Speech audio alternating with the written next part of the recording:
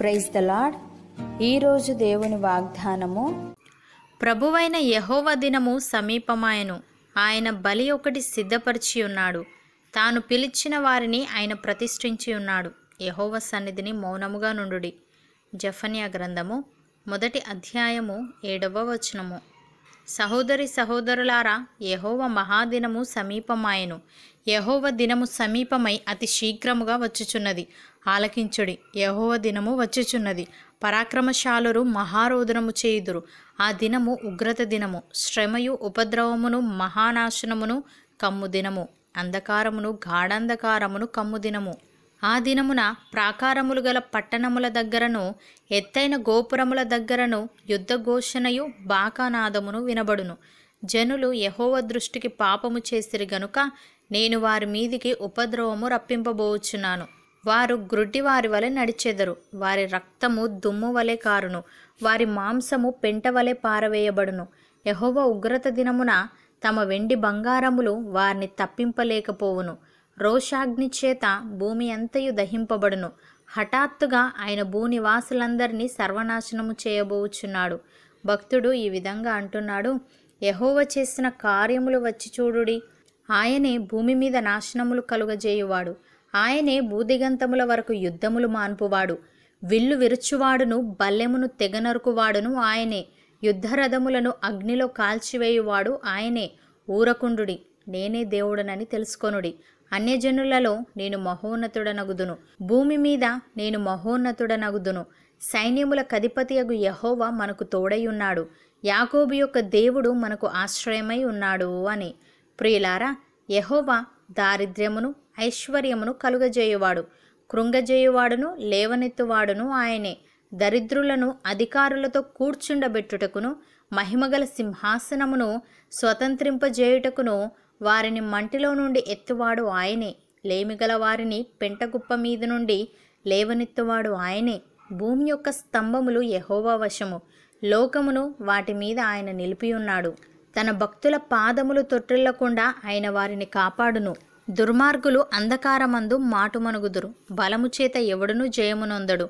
యహోవాతో వాదించువారు నాశనమగుదురు.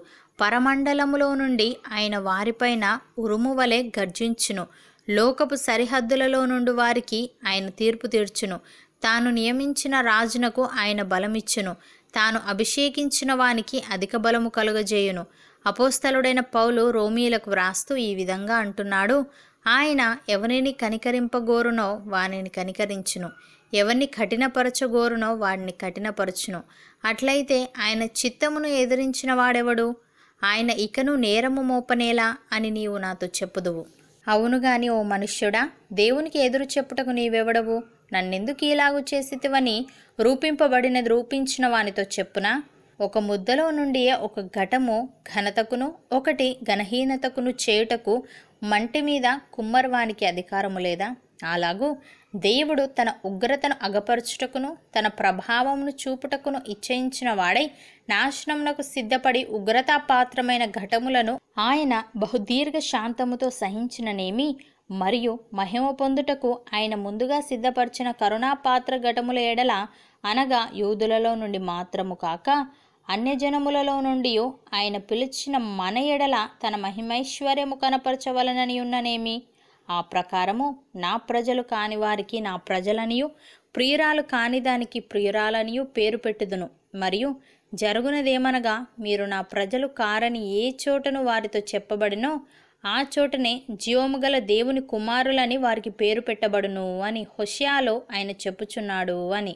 సహోదరి సహోదరులారా ప్రతి నోరు మూయబడినట్లును సర్వలోకము దేవుని శిక్షకు పాత్రమగునట్లును ధర్మశాస్త్రము చెప్పుచున్న వాటినన్నిటినీ ధర్మశాస్త్రమునకు లోనైన వారితో చెప్పుచున్నదని ఎరుగుదుము. ఏలయనగా ధర్మశాస్త్ర సంబంధమైన క్రియల మూలముగా ఏ మనుష్యుడును దేవుని దృష్టికి నీతిమంతుడని తీర్చబడడు. ధర్మశాస్త్రము వలన పాపమనగా ఎట్టిదో తెలియబడుచున్నది. ఇట్లుండగా ధర్మశాస్త్రమునకు వేరుగా దేవుని నీతి బయలుపడుచున్నది. దానికి ధర్మశాస్త్రమును ప్రవక్తలను సాక్ష్యమిచ్చుచున్నారు. అది యేసుక్రీస్తునందలి విశ్వాస మూలమైనదై నమ్మువారందరికీ కలుగు దేవుని నీతి అయి ఉన్నది. అవును అన్నవారు నాతో పాటు ప్రార్థనలో ఏకీభవించండి. పరిశుద్ధుడా ప్రేమగల తండ్రి నీ రాకడ అతి సమీపముగా ఉన్న రోజుల్లో మేము బ్రతుకుతున్నాం గనుక సిద్ధపాటు కలిగి ఉంటూ నీ రాకడను ఆశతో అపేక్షించు వారముగా ఉండుటకు సహాయము దయచేయమని నీ కృప ద్వారా నీతిమంతులముగా తీర్చబడి మేము పరిశుద్ధమైన ప్రవర్తనతోనూ భక్తితోనూ ఎంతో జాగ్రత్త గలవారమై ఉండుటకు కృపచూపమని మా పాదములు తొట్టిల్లకుండా నీవే మమ్ములను కాపాడమని యేసుక్రీస్తు నామమున ప్రార్థిస్తున్నాము తండ్రి.